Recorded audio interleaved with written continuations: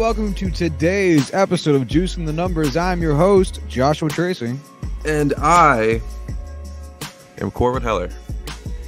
And uh, today is typically our stats episode. It is uh, this is the Thursday edition of Juicing the Numbers, but today we have a lot of things to talk about given the NFL trade deadline, which was this past Tuesday. There were a few people that moved, uh, a few people who stayed that are of note. Uh, there was also also on Tuesday, which is the day we're recording this, When the club goes up. uh, the on a Tuesday. NCAA came out with a new ruling about players getting paid. So we can talk about, we'll be talking about that as well. One thing which we will not be touching on in this episode is the World Series conclusion, which will certainly have happened, whether in six or seven games by the time this episode gets released, but we might have something else for that. Um, so stay tuned. Spoiler alert, it was the team you did, or perhaps, in fact, did not want to win. Bum, bum, bum. Duh. All right, let's jump into it. Yeah. Do you want to start with uh, Kenyon Drake? Drake? Kenyon. Fuck, I fucked it up even worse. yeah, Kenyon Drake. He got traded. Where to? Let's find out.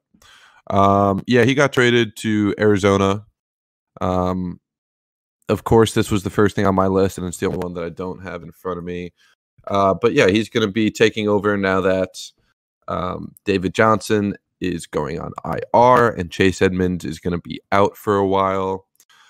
Um, you know, it fits a need. I guess David Johnson is just going to be one of those guys that's just never healthy. Um, he's had, you know, like I think like what one or two full seasons in his career, I think just literally been- just his rookie year. which is you know awful. Um, Kenyon Drake though he's hopefully going to be more of a guy than what he showed to be on the Dolphins. Um, I mean it's just a conditional pick uh, in the sixth round. It can become a fifth round pick. We don't know the specific details on that just yet. I'm sure by Thursday everyone will. So check the internet. Um, but I don't I don't dislike this trade at all. I mean Yeah, I actually we'll talk know David Johnson got hurt. What did he get hurt with? everything. Oh, okay. Um, yeah, so he has super aids.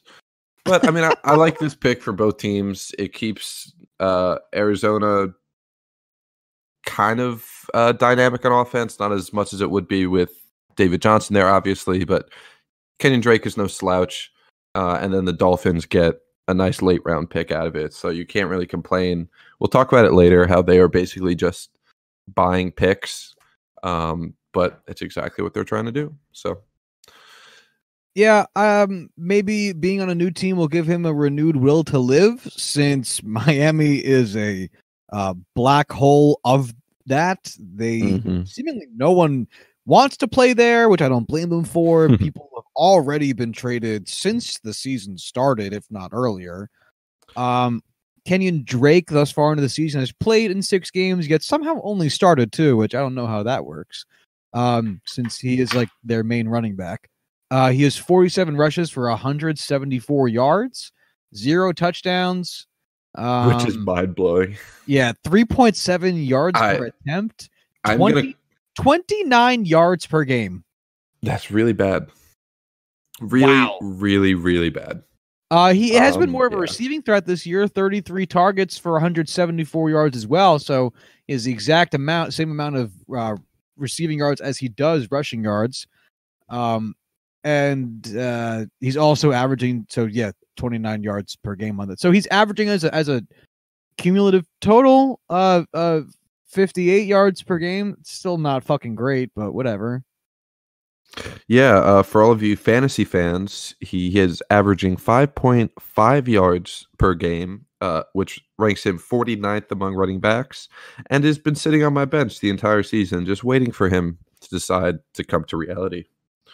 He has total for the year 32.8 fantasy points. Oh, it's so bad. That's just awful. Yeah, zero touchdowns and two fumbles. Ugh. I guarantee you he's going to score two touchdowns in his first game. Actually, Uh, he plays the 49ers. So in his second game, he's going to score two touchdowns. So just just for, for- just for fun, uh, he has 174 174 rushing yards. He has 83 of those come from uh, before contact, 91 after contact, uh, four broken tackles. Um, nothing exciting really. This is this seems like someone who got moved because Miami didn't need him and Arizona needed somebody.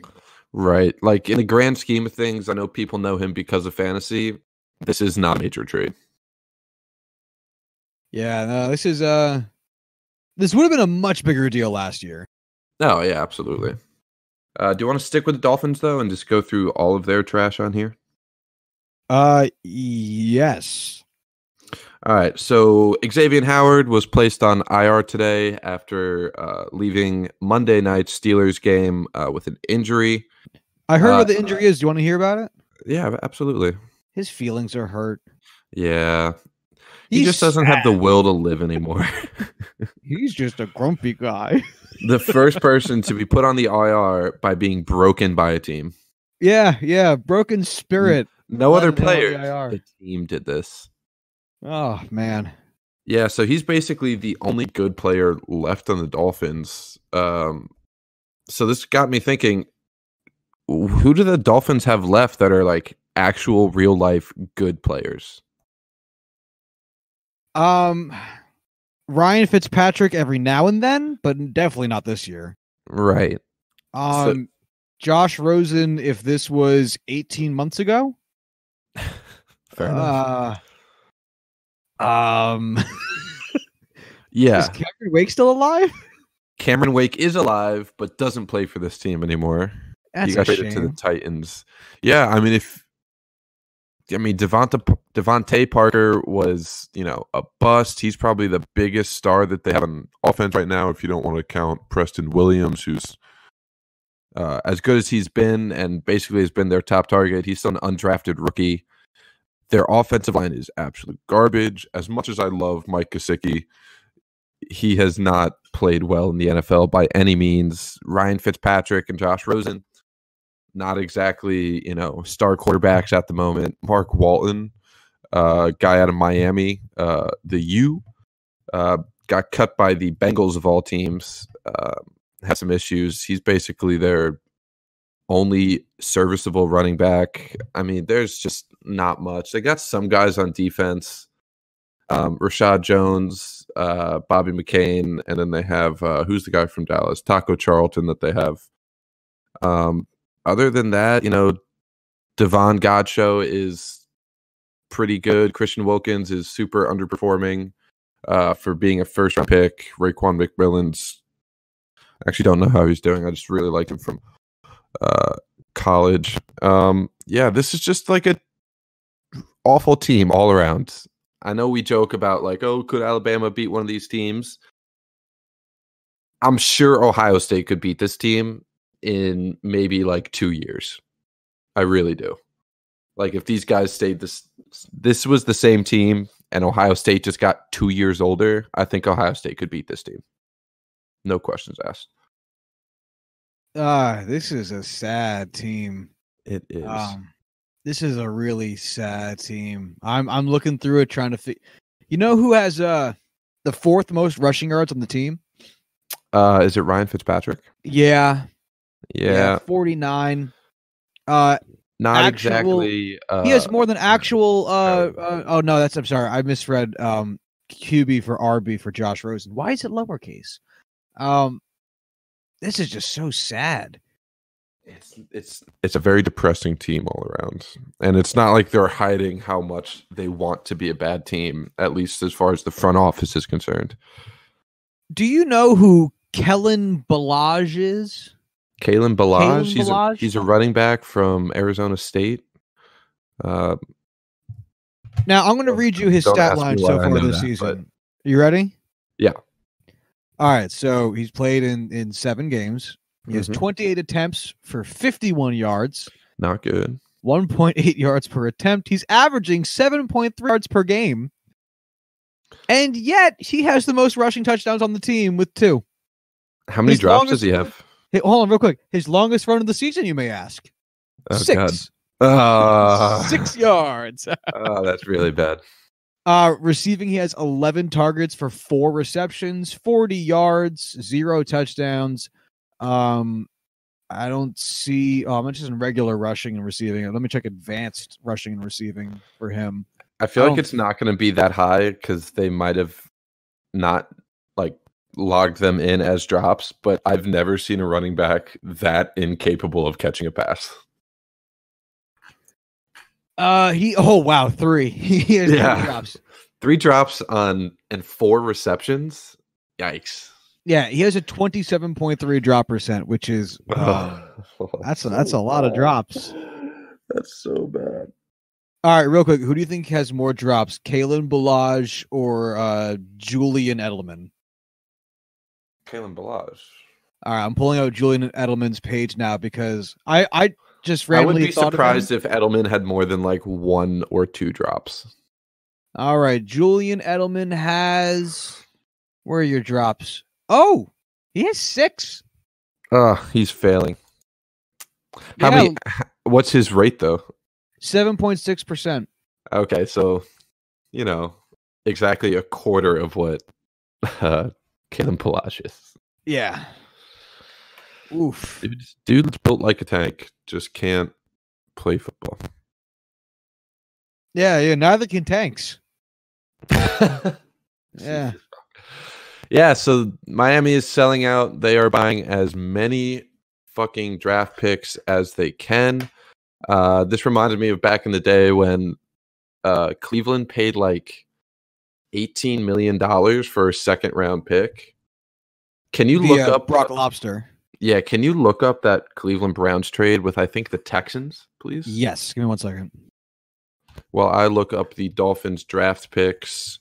Um here we go. So for 2020 draft picks, why in the world would this be a four-page article? You are absolutely insane. Is there no website that does this? This is something that normally we would do before the episode, but obviously us we're just gonna wing it and see what happens. Um, yeah. So here we go. As of August 31st, which is not updated, uh, they have three first round picks. Well, all right, they have two first round picks, but they fuck it. Josh, please cut this out of the episode. This is the I- worst fucking thing we've ever done. I'm not going to. But while while, while you're gathering So yourself, bad. I can tell you what the what the trade was. please do. So the Texans sent to the Browns uh Brock Osweiler, Yeah. a 2018 this trade happened in 2018 2017 it was before Uh, the draft. 2017. yeah. Uh, it must be 2017 because i should have just kept reading the sentence. Um they sent a 2018 second round pick a 2017 sixth round pick and houston received um 10 million dollars in uh oh sorry no no they, they they took the full contract off the book so they it, they took all 16 million of Osweiler's contract Cleveland did and Cleveland sent over a 2017 fourth round pick um So Yeah. they moved two back, two rounds back, moving from four to six in exchange for getting Brock Osweiler and getting a second round pick. That's how Yes. bad his contract was. and 16 million and giving up 16 million dollars And everyone's initial thought was, what the fuck just happened? Like, are you serious? And then people started to realize, oh my God, they literally just bought a draft pick. Like, straight up, this is as close as anyone's ever going to get to paying a team straight up for draft capital. Yeah. Um, and then for anyone who's unaware of the story, they cut Brock Osweiler in um training camp or preseason. I forget which one. Then he played for Uh, the Dolphins. does it right? really matter? Yeah, he played for a couple teams. Yeah, he tried to anyway. Yeah, you're not wrong. Uh, yeah, so do you want to keep talking about the the Dolphins in regards to Aqib Talib? Yeah, so they traded for Aqib Talib. Um, is on IR, right? I thought he was, but now you've put doubt into my mind. So you That's- could look I- that up. I thought he was too, which is why this trade confused me so much. Yeah, so basically they traded Aqib Talib and a fifth round pick. This is the Rams in exchange for like a conditional sixth, seventh round pick. A future seventh rounder. They traded the Okay. 2020 fifth round for a future seventh round. I guess it doesn't classify the year yet, which is weird, but does, I, It's what- probably an it's probably an option thing ah okay. I could see that. where like uh either conditionally or not, it's either this year or next year, or it's like, all right, we'll take this year's. This looks like a good good enough draft. Aqib Talib is on injured reserve. He was designated due to injured ribs and is without a timetable for recovery. Yeah, so he's definitely not coming back this year because Why would I don't he? think he would want to, honestly. Um, so this is basically the same deal where they are just taking him off the Rams books in exchange for getting a pick. Granted, it's a you know a lot less than a second round pick, but at the same time, they're just buying as much capital as they can. Three first round picks next year, uh, one of the Texans and one of the Steelers, as well as the Texans' second round pick, as well as their own. So I have pieced myself together quite nicely since that little. I don't want to say a big word Debacle. and fuck it up. Yeah, there we go. Uh, real quick, because I'm curious, um, because I, I, I don't know about NFL contracts in, in the same way as I know about MLB contracts. Is if someone lands on IR, is the team still liable for the contract? Because in MLB, um, in teams will teams will insure contracts so that the contract still goes against their total spending, but they can have an insurance company pay the contract so the team isn't actually taking that money um out of their own coffers.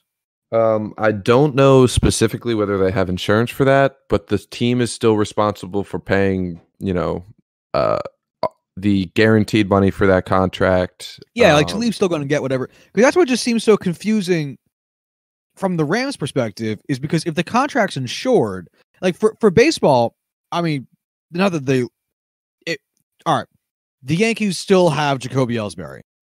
The Mhm. reason they still have Jacoby Ellsbury is because he's hurt, and the reason they want that is that not necessarily want, but the reason they're okay with that is that they can keep him and have uh his contract absolutely paid for whereas if they had just cut him they'd have to pay his what uh, the remaining money on his contract without it getting insured. It comes straight from their own personal dollars.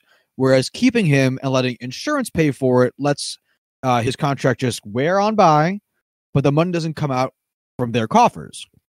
Mhm. and I have to assume the NFL is not that way because otherwise the Rams just moved Aqib Talib um for what? Uh, Um, cap space? so looking at There's only 4.2 million dollars left on his contract, so I can't even justify right. that. so end. that so that 4.2 million was for all of this season. Um, basically, by trading him at this point, they still have 3.7 million uh, on their cap as a dead hit, but they're basically freeing up, uh, you know, basically five hundred thousand dollars in both cap space and real cash spending. So, uh, yeah, so they're basically just saying, we'll fucking pay you or pay us a million dollars, half a million dollars, and you can have our fifth round pick in exchange for a sixth or seventh, whatever it was. ah, very strange. Yeah. I don't know enough about like the very nitty gritty details of uh salary cap manipulation, uh like the GMs do. So I'm assuming that was the only detail that I could get from that. So Yeah. okay. I, I I'm going to assume that they are not um insured only because it's the only way this makes sense. I've never heard of it being that way, so I just never would assume that they would be. All right, so we got all of the Dolphin stuff out of the way. Would you like to talk about the Jets for a moment with uh, Leonard Williams? And well, I guess we could talk about all the shit that went down today. Yeah, yeah, we'll keep it moving with Leonard Williams. Do you want to hear my impression first, or do you want to start it off? Absolutely. No, I want to hear yours first. All right, so Leonard Williams got sent to the Giants, the first ever trade between the New York Jets and the New York Giants. I actually thought it was Snacks Harrison a couple years ago, but that was a free agency thing that I just forgot about. Um, the Jets send to the Giants just Leonard Williams, and the Giants send to the Jets a 2020 third round pick and a 2021 conditional fifth round pick. Uh, I think the condition is whether or not the Giants re-sign Leonard Williams to a, an extension. I, I'm so I'm sad a little bit because Leonard Williams always seemed like a really good dude, but I also am kind of happy because he has been a point of contention in Jets fandom for the last two, three seasons. Every year after his rookie year, because he never really produced anything. He hasn't been good on pressure. He hasn't been getting sacks. He he's been okay stopping the run, but he hasn't been really good at it. He's been by and large uh okay. And it comes with a lot of baggage with Jets fans because, you know, we spent a first round pick on him. And then we uh cut Muhammad Wilkerson because we had Leonard Williams and Muhammad Wilkerson was causing trouble and he seemed redundant, so to speak. So the fact that they felt so comfortable moving on from him really speaks to how little they thought of him, which I think is pretty accurate based on how he's played. Yeah, looking um, at his stats right now, he has 17 sacks in 71 career games, which is not great even as a defensive tackle. Um, he's very much underperformed his draft slot, essentially. Yeah, yeah, and with a payday coming up soon, they did the right thing by uh trying to get some value out of him before his time ended here in a different way. So, and boy, did they get some good uh, value for him. Yeah, I am shocked at the Giants' end of this. Dave Gettleman is so bad at his job. Um, also, I thought it was funny because Pete texted me and he was like, "Good thing uh, I'm happy the Giants got an edge rusher," and I'm like, "Oh, buddy, no, no, no, I no, have no. some bad news for you. no, no, no, no, no. That's not what he does. it just it amazes me with how much they already have invested in their defensive line. Very much their strongest position outside of running back. What are you doing? They have Dalvin Tomlinson, they have Dexter Lawrence, they have BJ Hill as their starters. Now they're backing up Dalvin Tomlinson with Leonard Williams, who is, I assume he's a free agent after this year because they didn't sign him to an extension. Um, this is, I think his option year. Yeah, I think I think this is his yeah because this is his fifth year in the league, so this must have been his team option year. Okay. Uh, so yeah, he would be. What are you agent. doing? Yeah, what are you what are you doing? You're paying a third and a fifth. We said it was for yes, a, a third, a 2020 third, and a 2021 conditional fifth. Right. Um, I don't know what the Giants are doing. This is absolutely ridiculous. I think it's I very talking, clear that the Giants talking. I think it's very clear that the Giants are going to try to transition Leonard Williams to O line. really? no. now that would be yeah. something. Yeah, they're going to replace Nate Solder with Leonard Williams. Oh fuck! Can't be worse than Ereck Flowers. Oh, is he still in football or is he gone now? Is he still uh, Jacksonville? He's floating around somewhere. I don't know specifically where. I could look it up though. We have the internet. Do we care that much though? It's Ereck Flowers. I kind of do. He's on the Redskins. That's where I, I thought he was. Ah, uh, where all people go to die. yes. I, I, was talking with a with a buddy the other day, and you know, I was like, "Oh, those Nationals fans are like, or the city of DC seems really into this uh this World Series. You know, it's nice. God, you know, they haven't had him so long. And I go, yeah. Also, what else do they have? They can't root for the Redskins right now. you know, like right. This is all they have to keep them going through the month of October. So they can wait for Dan Snyder to make more money. Uh, who doesn't? I mean, I pray every night he gets richer. Uh, all right. Do you want to talk about uh, the Redskins then, since we're on the topic with well, Trent Williams? let's finish off the AFC East uh, okay. here and talk about Michael Bennett.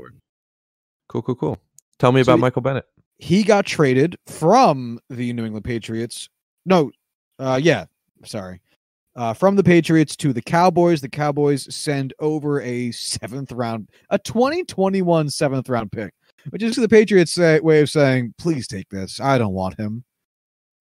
it's one of those things where it's like it's almost an inside joke where it's like a conditional seventh round pick is worth literally nothing. We would rather get like a bag of balls or for you to fill our vending machine for a season. I mean, the dude's a, a dude's a 33 year old edge rusher who's kind of not really been all that uh spectacular in New England. I mean, he had nine sacks last year with the Eagles. He had two and a half in six games this year. Only started one game and only has five tackles uh, in all. He's basically just kind of turned into a situational pass rusher for New England, and that defense is so deep that I think this is just Bill Belichick saying, I mean, you're worth a couple snaps per game, but that seventh rounder could be anything. It could literally be Tom Brady. So yeah, and at that point, they basically just traded Mister Irrelevant because the Patriots' odds of being the final pick in the draft are always very high. Right. Uh, uh yes. Dallas is Dallas is. Oh yeah, no, they would send the pick. So wait, yeah. no, they're getting Dallas's pick. I was right the first. Oh time. no, you're right. You're right. They're getting Dallas's pick. Oh, in which case, I hope they pick very high. Um. yeah, just for reference, Michael Bennett's stats. Um, he has only started one game this year. He has two and a half sacks, uh, five com- combined tackles, four solo tackles, one assisted, um, three tackles for lost, and four QB hits, which is a not just a humongous step back from what he was last season, but just like you said already, not really needed on a stout defensively New England team. So yeah, this is uh the Cowboys desperately trying and um the uh Patriots just not giving a shit. yeah, so the Washington Redskins then because I don't want to talk about the Patriots anymore. Fair. Uh, Trent Williams decided to end his holdout. Uh, I believe he would have had to uh, before week 10 uh, in order to basically have this year count towards his contract. Otherwise, the Redskins could just roll it over to next year. Um, at the same time, he's missed eight weeks so far, nine weeks so far. Is he going to be able to come back and start for the Redskins on Sunday? Probably not. But are the Redskins going to force him to anyway? Probably. Um, it's nice to have him back. I'm upset he didn't get traded to a team that actually would value having Trent Williams on their team. Um, so it's not going to affect the outcome of the Redskins season in really any meaningful way. Should help out Dwayne Haskins when they eventually start starting him uh, full time. So some good, some meh. Yeah, uh, it sounds like a pretty shitty year for Trent Richardson as he uh, he went from hoping to get a contract to not getting it and having to play football for the Redskins. that sucks. Yeah, it's not too great. Uh, so moving on, we got the Denver Broncos next. Joe Flacco's out. He's done for the season.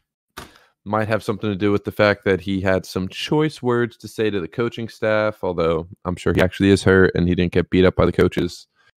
Uh, which puts Brandon Allen as the starter for the Broncos essentially for the rest of the year. Um, you might remember him. He played for Jacksonville for a little bit.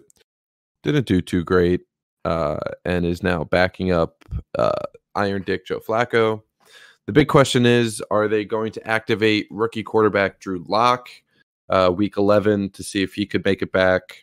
Uh, they've said that his thumb injury is fully healed. Uh, he hasn't started practicing yet, though, so just one of those things for them to look for. Uh, I have nothing to contribute.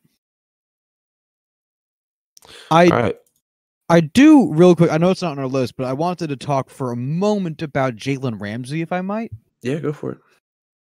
So we had talked about his um, time in Jacksonville, heading into his uh, Los Angeles tenure and uh, I, I want to just compare his stats for a moment uh, in the three games he's played in Jacksonville. Now that he's played uh, two in Los Angeles, so maybe this would have been best saved for la- next week. But fuck it, whatever.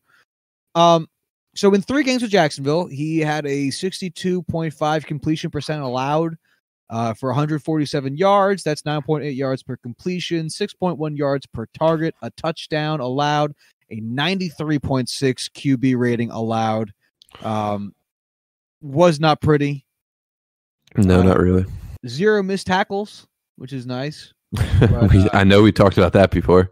Yeah, but it it was not pretty. Would you like to hear his Rams stats? I would love to.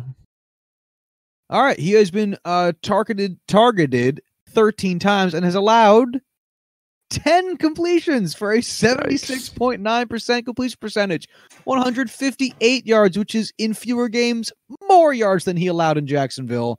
15.8 yards per completion, 12.2 yards per target, literally double what he allowed in Jacksonville.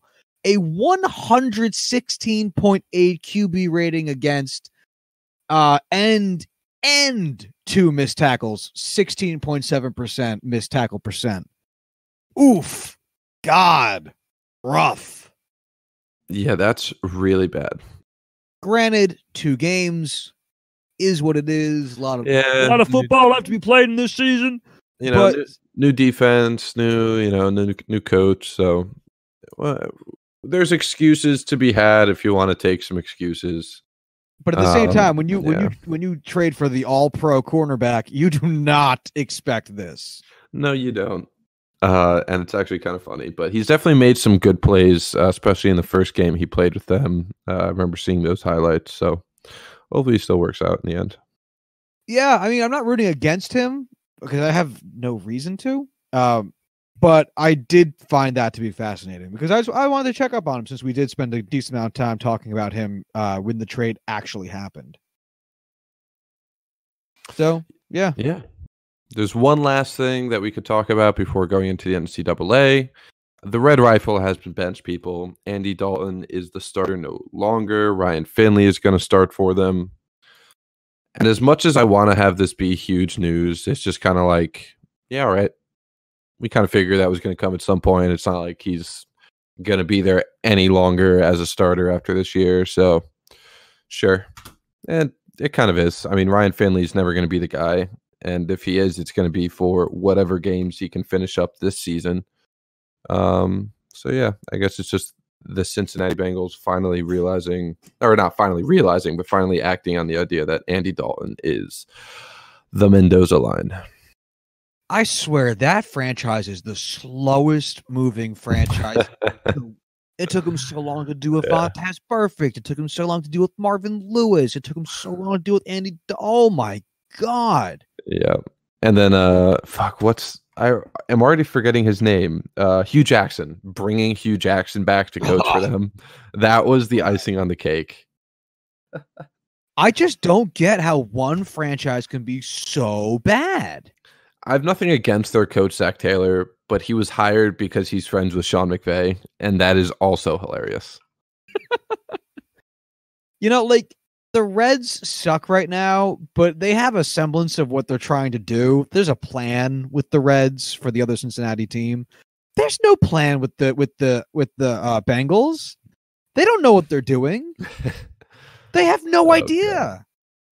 I I'm Saying 100 something- serious, Corwin. Where I when I say that if if you were instated as the GM of the Cincinnati Bengals, they would certainly be no worse.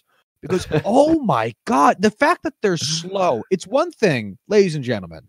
It's one thing if as a GM or decision making person within a sports team to make a decision quickly and be wrong than to make the right decision anywhere between 8 to 18 months too fucking late.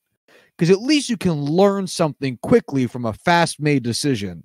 Whereas Right. you learn nothing from making the right decision way too fucking late. And that's been the MO of the Bengals for the last fucking 15 years. You know what they kind of remind me of? Like Tell me. people who never who just sit in the left-hand lane on the highway. Oh, They just sit there. They know their exit's coming out, but they're not getting over because we know what we're doing is correct. Not only that, they're, right they're, get- they're their getting passed exit. in the right lane. They're getting passed in the right Yeah. lane, and they're like, "Oh, those people are driving like Idiot. savages. Yeah, Absolute idiots. This is how it should be done. Oh shit, there's my exit. Screech.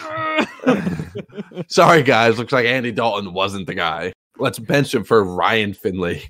and then go shotgun some skyline chili. At, at least when uh, the Giants benched Eli for Geno Smith, it was like there was like a one percent, you know, prob percent probability there that you were like, maybe this is Geno's shot. It ended the first time he threw the ball, but there was still that hope before he did. This is just like Ryan Finley. What's the point of this? Like for real? Come on. It's impressive at some point. It's just genuinely impressive. I don't mind as someone who's a fan of the Steelers in that division. I thought the Steelers could bottom out this year if, you know, everything kept going poorly. And deep down, I knew that was never going to be true because the Bengals were still there to hold down the fort. Yeah, yeah, it's amazing how no matter how bad or good the Steelers are, the Bengals are always worse. Remember that So one year they went 14 and 2? Yeah, and then lost in the first round. Yeah. That was a good year. Uh, it was a good conclusion to a weird year. Oh, absolutely. So that while we're on the topic, who is the uh, bright young quarterback that they're going to draft first or second overall? That career they are going to end. Um well, the, the last quarterback was red-headed, so I'm going to say some other weird genetic person like maybe he's too short, maybe he's weirdly tall. Two is left-handed. That's perfect. uh no, two is too good. They won't do that. You're right. Uh, you know what? They're probably not. You know what they're gonna do? They're not gonna draft a quarterback in the first round. They're They're gonna. gonna They're gonna. take- They're gonna take like another wide receiver. Yeah, they're going to take Jerry Jeudy and be like, "This is our AJ Green replacement." and it's gonna be like, well, you know, like whoever we end up putting in a quarterback needs good pieces around them, so we're just trying to set them up for success. And then it's like, yeah, but you still have no quarterback. You're just wasting a year. Like the draft's once a year. There's 16 games in between. Then maybe more if you're good. Like, oh man. I really hope that it's Justin Herbert so that they have like the nicest, most genuine quarterback that like the fans will love. And then the second things get hot, or like the second he starts playing for a team that's that garbage, he's going to crumple because everyone talks about how uh, poor his mental game is. And then they are just left with sadness for the next 10 years. No offense to Justin Herbert. I don't wish that upon you. But as someone who hates the Bengals, that would be fucking funny. Yeah, I. uh If you could move the Bengals anywhere, where would you move? Um, what's the sh- oh, I know. I thought to myself, what's the shittiest state I know? Ohio. Oh wait. Yeah. Honestly, you know what's funny? My first thought was Columbus, just for spite. so that they could be the second best team in that very small town. Yeah, right. Actually, And since and town, Cincinnati but would know whatever. the pain of their team moving, but have it be so close that there'd be a lot of overlap. let's let's call up this guy Roger Goodell. Let's let's get him on the line. Uh, Roger, you're on the line. Uh, what? There's no cameras here. Uh, did you guys see me run that forty in the office last year? I stepped on a staple. All right, all right. How about this? How about how about if um if you put the the Bengals in uh Rochester, New York? Oh yes. Could we name them the Factory of Sadness? Oh, or we could put them Rochester. in Syracuse and have them be less popular than all the college teams. So you're familiar with the Rochester Institute of Technology, right? Yes, The Rochester Institute of Sadness. I'm a, I'm all about it. For all the kids that flunk out of RIT, they can go play for the Bengals. On-field result will be similar. I think the Bengals should move to a really stupid town like Grand Rapids, Michigan. Something that like normally wouldn't get a team, but like the NFL is going to put it there to be like, see, even this sad sack city can do it. Like, um, Move him to Ann Arbor and make him make Jim Harbaugh coach him. move them to Omaha. Fuck it, those Nebraskan folks would totally do that shit. uh, yeah, I guess. It's not like the Cornhuskers are doing very well. Yo, I'm looking at a map and I just realized that, like, right now that Sioux City and Sioux Falls are two different places. Really? Yeah. Damn. Okay. Gonna throw up I see South you, Dakota. South Dakota. they could be the South Dakota Rushmores. I actually wouldn't even be mad at that name. That'd be pretty cool. What is it? Fast Times at Ridgemont High. Rushmore- Ridgemont High. Damn, thought Yeah. that would have been a good one. Yeah, that's okay. All right, you want to talk about the NCAA NC double assholes. Let's do it. and the NC? ah, ah. All right. Um, all right. Would you want to fill the people in? yeah. So the NCAA announced today that they are essentially going to allow players to make money off of their likeness as long as they maintain the idea that you know they're still going to be student athletes and fall under those student athlete confines um, so basically what it comes down to is if someone wants to pay a player for them to do something they can do so but they can't pay a player for just being a player so this doesn't mean Alabama is going to be able to pay, you know, hundred thousand dollars to a kid to make them come there. Um, that's still illegal. It's still going to happen, but it's illegal still. But basically, hey, if Trevor Lawrence wants to go out and have a QB camp over the summer that he runs himself, he could have kids pay him for it. Or if they want to have the NCAA video game back and they're like, all right, kids, we're going to put you in this game because people want to play you and people love this fucking game. Here's some money for it. And the NCAA will have to be like, all right, you did something, you provided a good or a service, they're allowed to pay you. So no more slave labor with the NCAA, and people are freaking the fuck out about it.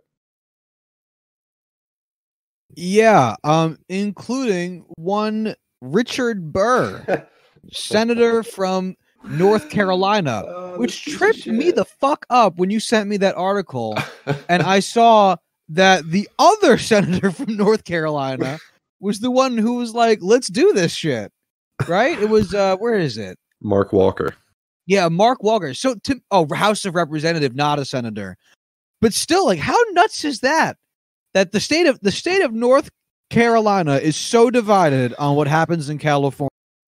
Um, so first off, first things first, this is great. This is really great.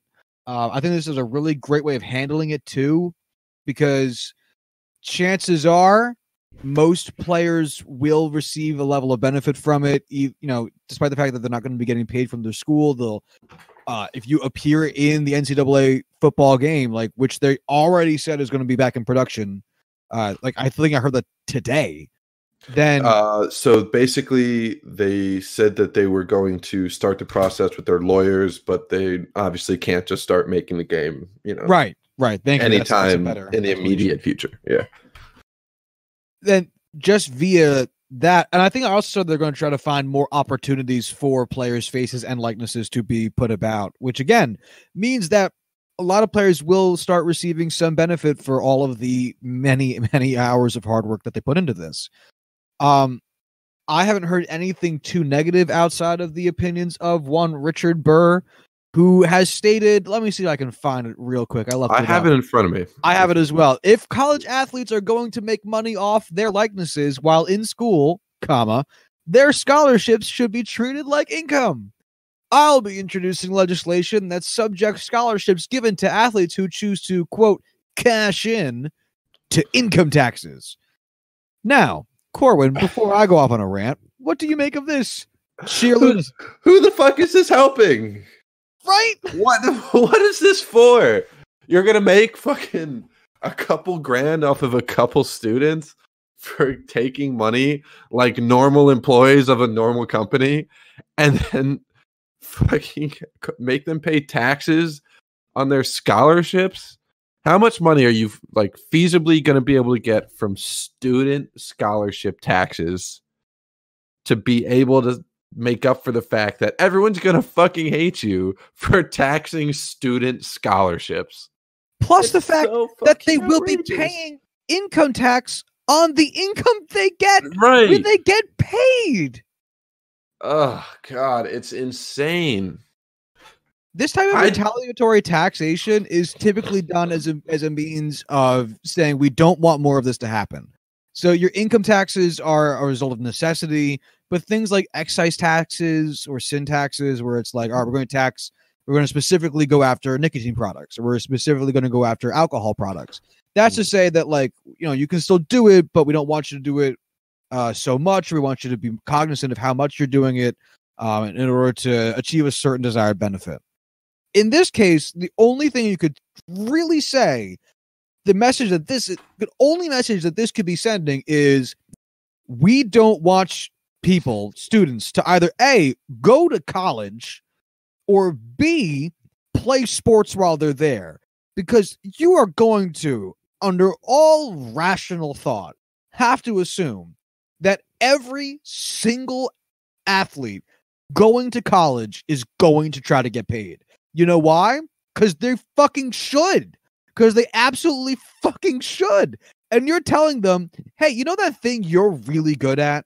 That thing that that you've been working your whole life at, that that in skill that's individual for you. I don't want you to take money for the greatest that. strength that you as an individual have at being able to make a successful career with your life. Take that and throw out the fucking window. Oh, yeah, but you see Jimmy over there who who spent his whole life uh looking at rocks. Yeah, he's going to get a great internship at, at the geologist factory and he's going to be able to make money while at college, but you you Dwayne, you you can't even though you spend every single free minute, minute of your goddamn life running wind sprints out with your dad. You're not going to be able to get any money because that's not as meaningful as looking at rocks. It's fucking stupid. It's so. Why would you be so just mean? Let's just set aside the fact that he's objectively wrong about what this would this would. um I don't even think it's object like a dick. It's just it. I don't even know how you could argue that this isn't wrong, both ethically and politically and economically. If he also thinks that that any of these athletes would be paying taxes to begin with. If they put this shit in, yo, the NCAA would immediately start fighting this in some way Wait, because what they happens- just want to get it paid. What happens if you're a 17 year old freshman athlete coming in and all of a sudden you have to pay taxes on a scholarship that you just got, even though you are not old enough to pay taxes? Well, imagine imagine this. Imagine you're a broke inner city kid. Your parents have negative $75,000 to their name. And the only way you got to go to college in the first place is via your scholarship. And now they're saying they want to tax your $50,000 per year tuition as $50,000 of income per year, which is going to be like after you include um I don't know if they're going to count as a gift or they're going to count it as income. So let's just be liberal or uh, conservative here and call it 15% on $50,000 per some uh per year and you're what's where's that money going to come from? Congratulations. you've just you've just you Right. just exhibited the demise of college sports. And what gets me the most is that there's no way that the money that 99% of these student athletes are going to be getting is going to be more than the amount this tax would be on that scholarship. Like Oh, no it's way. not it's not like these kids, you know, outside of major basketball and football schools, you know, power 5 conferences, really just the three big conferences in each they're going to be making, you know, a couple hundred bucks on the side, you know, maybe over the summer or, you know, selling fucking t-shirts with their face on it or some stupid thing that college students do to make money. It's just it's ridiculous. Yeah, you think we'll see maybe a few athletes doing commercials? Oh, for sure. I wasn't sure if that would be allowed. I- but I- 100%. Yeah, okay. I cool. don't see why it wouldn't be because it doesn't affect their academic status at all. and it is their likeness, obviously. So Do you want me to go through the bullet points uh, for the rules that they're crafting this around of? oh, I would love that. Cool. So, in the press release released today, the NCAA offered a framework for the crafting of the new rules. Uh, I think there's like eight of them here. I'm just going to read through them all. Assure student athletes are treated similarly to non athlete students unless a compelling reason exists to differentiate. Maintain the priorities of education and the collegiate experience to provide opportunities for student athlete success ensure rules are transparent, focused and enforceable, and facilitate fair and balanced competition. Make clear the distinction between collegiate and professional opportunities. Make clear that the compensation for athletic performance or participation is impermissible. Reaffirm that student athletes are students first and not employees of the university. Enhance principles of diversity, inclusion, and gender equality, and protect the recruiting environment, prohibit inducements, induct, I don't know that word, to select, remain at, or transfer to. It it's it's not spelled like an indictment though. How's it I spelled? ge- I'm gonna Google it because I'm gonna sound really fucking stupid when I see how this word is supposed to be pronounced. Um, inducement. Inducements. I don't even. I don't. It is a noun, a thing that persuades or influences someone to do something. I genuinely, in the 22 years that I've been alive and all five years of college that I've gone through, have never seen that word. Neither have I. Uh, uh, NCAA just making this shit up now. I know, right? You want to know the biggest takeaway I got from reading that? Yes, that's exactly what I was going to ask. I can fucking speak when it's in front of me. I just cannot form original thought on the go. Wow. Um, but I don't see anything here that is genuinely unfair to me. Like all of these are very common sense, very straight to the point. And when you look at it, it's like, yeah, this is everything we expected them to want to do. It's not holding anyone back in any serious way. I mean, granted, we won't see how these are uh, implemented when this uh, goes into effect. But at this point, the day of its release, this looks really great. Yeah, this looks super promising. Um, yeah, because as as you said, it if you aren't a star athlete in college, chances are you know that, Mhm. and you're probably taking your acad- no, and you, and to be to be real, you're probably taking your academics pretty seriously because you know if you're if you're like a right guard and like you're okay and you know you're not going to get drafted, at least if you do get drafted, it like maybe in the sixth seventh round, and it's like, eh, and you're like you know in the business school getting your accounting degree, like you'll probably take your accounting classes relatively seriously and try to be ready in the event you don't get drafted or don't want to go to the NFL by your four years. And chances are you won't be receiving a ton of money um, on the side from from this new rule. So you will be getting a lot of value out of just getting the tuition. But if you're somebody that's expecting to go to the draft and get drafted and become an NFL prospect and and you're you have been told that in order for you to go to the NFL you have to go to college. By the NFL rules you have to do 2 years. The tuition's not going to mean as much to you because for one thing you're not taking the tuition or the the the coursework as seriously because of the structure that got put in, in before you. And in the event that things go sour and you made a poor choice well now you have something to fall back on because it wasn't going to be academics not by any fault of your own it won't be your academics but now you'll have hey if you were a really good wide receiver you just didn't get drafted you went to too small of a school too weird of a school it wasn't it was a wide receiver stack draft class whatever but you did like had really good jersey sales you had really good video game sales you were prominently featured whatever now you'll have something to be like this is something else i can build on now and that's going to be a difference maker for a lot of players And a lot lot of of people people. who like video games. yes Uh, I'm really excited once people are able to dig deep into this, uh, really get a really nice explanation for what this all means in a practical sense. I mean, I know everything looks great on paper, but practically, how is this going to work? What are the hidden factors that we can't see now that are going to really put a cog in this because it's Mark Emmert, it's the NCAA.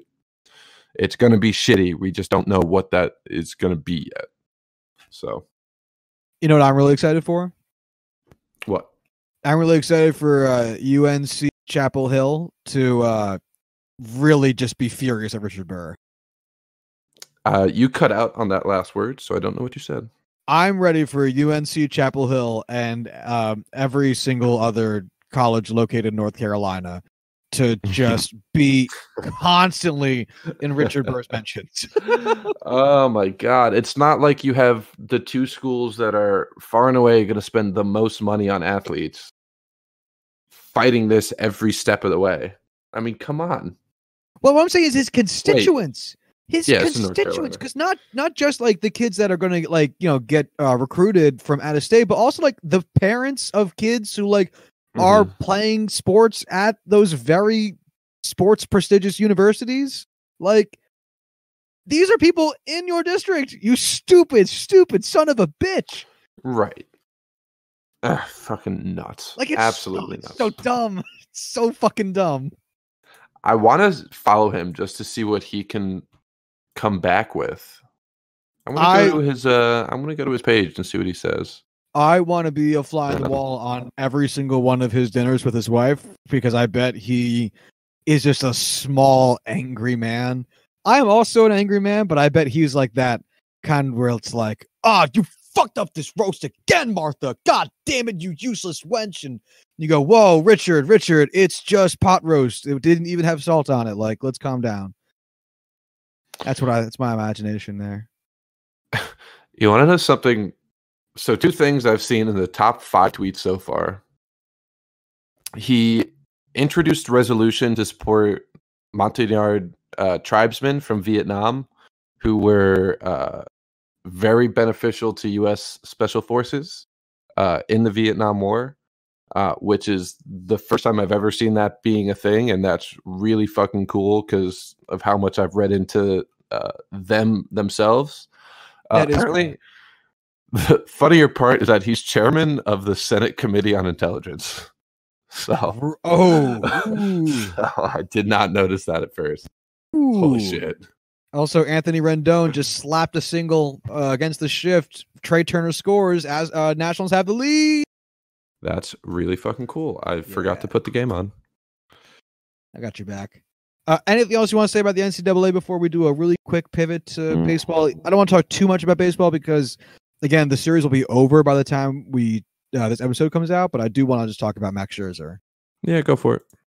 Um, so he threw pitches today. It's Tuesday. Just again, in case you forgot, he threw pitches. He couldn't lift. He couldn't get dressed two days ago. This is amazing. I really like. We talked about it. I remember talking about it specifically on uh, our last show where I thought he Joe was Ross done was on. for. Yeah, Yeah. yeah. That's what you said. You said this is the end of his season, barring I- something miraculous. And the miraculous has happened. Max let me- Scherzer is Jesus Christ. Let me ask you this: Okay. If Max Scherzer pitches to any effect, um, in a game seven, and the Nationals win the game, whether because of him or not, do you think he wins World Series MVP? I don't just because of the fact that he really hasn't been super sharp.